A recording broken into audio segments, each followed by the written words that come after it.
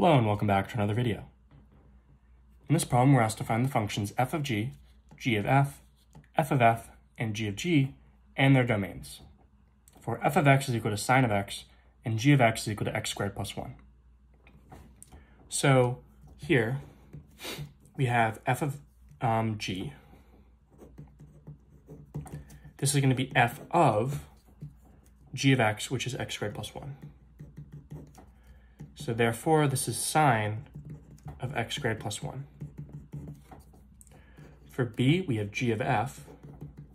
This is g of whatever f of x is, sine of x. Sine of x squared plus 1. Right, plugging in sine of x into g, this just gives us sine squared x plus 1.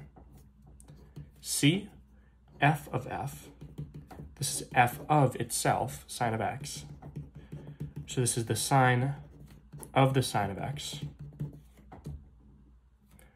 And finally, g of g is g of x squared plus 1.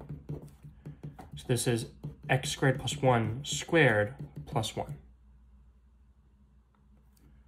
So these are our four functions, a, b, c, and d.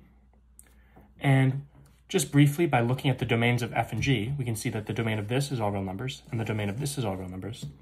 So the domain of their compositions, all of these, the domain is also all real numbers for all of them. So we have f of g, g of f, f of f, and g of g. For these functions, f of x is equal to sine of x, and g of x is equal to x squared plus 1.